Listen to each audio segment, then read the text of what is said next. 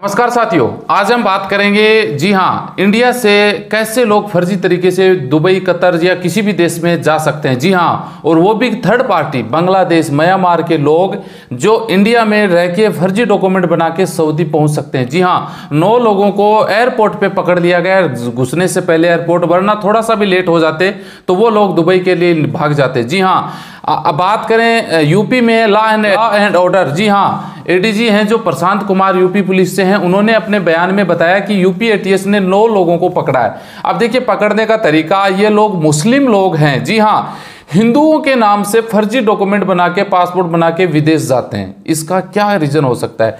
क्या इतना बड़ा रीजन है कि एक मुस्लिम आदमी को हिंदू बन के, धर्म बदल के विदेश जाने पे मजबूर है? एक मुस्लिम है, मान लीजिए कि बांग्लादेश का बंदे हैं, इंडिया में बहुत सारे लोग हैं। जी हाँ जो फर्जी तरीके से रहते हैं। अगर वो फर्जी डॉक्यूमेंट बनाते हैं तो मुस्लिम के नाम से भी बना सकते हैं। सिंपल सी बात है। लेकिन कहीं ना कहीं इनके क्या रीजन हो सकते हैं? इस पर भी हम बात करेंगे।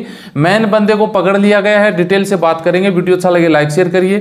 चैनल ज़रूर सब्सक्राइब करके बेल आइकन ऑन कर लीजिए भाई। फेसबुक पेज वाले पेज को फॉलो करके रखें, ताकि हर रोज आपको विदेश से रिलेटेड नई नई अपडेट मिलती रहे। तो चलिए शुरुआत कर लेते हैं। जी हाँ नाम से बांग्लादेशी युवकों को भेजा जाता है दुबई। जी हाँ दुबई जैसे गल्फ देशों में। जी हाँ विदेश भेजने के नाम पे नौ लोगों को गिरफ़्तार किया गया। इनके जो मैन सरगना है, जी हाँ महफूज रहमान, नाम भी बड़ा टेढ़ा है भैया इनका। इनको भी गिरफ़्तार कर लिया गया है। कलकत्ता में एक मदरसे से इसको गिरफ़्तार कर लिया गया है। यूपी पुलिस ने गिरफ़्तार किया जी हाँ देखिए, ये बंदा 2010 में महफूर, महफूज रहमान 2010 में अवैध इनलीगल तरीके से बांग्लादेश का बंदा था इंडिया में आया था 2010 में। और यहाँ से फर्जी डॉक्यूमेंट बना के, पासपोर्ट बना के 2013 में ये बंदा दुबई चला गया था और दुबई से ये बंदा वापस इंडिया में आके रह रहा था एक मदरसे में। जी हाँ वहाँ से इनके लिंक हैं, ये लोग म्यांमार के और जो बांग्लादेश के मुस्लिम लोग हैं, मुस्लिम मुस्लिम बंदों को ये इलीगल तरीके से इंडिया में रहते हैं, आप सबको पता ही है। इनके फर्जी डॉक्यूमेंट बनवाए जाते हैं हिंदू के नाम से। जी हाँ और इनके पासपोर्ट बनाकर फिर इनको इंडिया से, दिल्ली से अलग अलग जगह से ये विदेश भेजने का काम करते थे।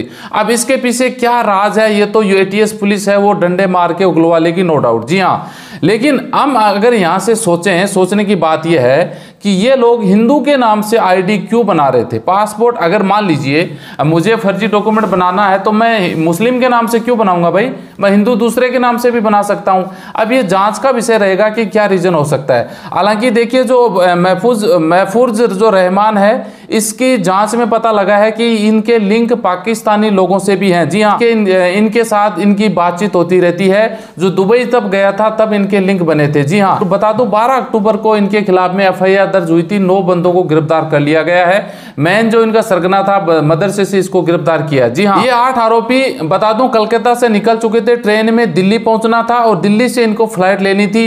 अब आप लोग बोल सकते हैं, कलकत्ता से क्यों नहीं गए? तो भाई, जो इलीगल तरीके से काम करते हैं वहाँ लोकल से तो कैसे जाएँगे? उनको तो दूसरी जगह से जाना पड़ेगा। एटीएस को भनक लग चुकी थी। उन्होंने बीच रास्ते में ट्रेन को रुकवा के आठों बंदों को गिरफ़्तार कर लिया। जी हाँ अभी इनके ऊपर और भी खुलासे होने हैं जो पुलिस आपको पता है, कुटाई करेगी तो ये लोग आराम से बता देंगे। मेन रीजन ये कि हिंदू के नाम से गलत डॉक्यूमेंट बना के दूसरे देश में जाने का इनका क्या टारगेट है? कहीं ऐसा तो नहीं है कि ये आदमी हिंदू के नाम से दूसरे देशों में, जैसे दुबई सऊदी अरबिया, कुवैत में किसी भी देश में जाए, वहाँ पे कुछ गलत काम करें, हिंदुओं के नाम से तो कहीं ना कहीं कोई साजिश तो है नो डाउट वो पुलिस जब को मार कुटाई होगी तो वो बता दें तो कहने का मतलब है कि ऐसा भी होता है साथियों, आपको भी अगर कोई न्यूज़ मिलती है तो सावधान रहने की ज़रूरत है। कहीं ऐसा नहीं हो कि गलत वो कर रहे हैं नंबर आपका आ जाए। समझ रहे हैं बात को?